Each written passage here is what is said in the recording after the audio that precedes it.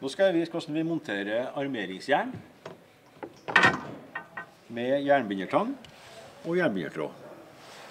Først så lager vi en bøy på enden av tråden. Legger tråden bak armeringsjernene. Tar tak med tanga. Vrir og åpner tanga så mye at du får inn tråden.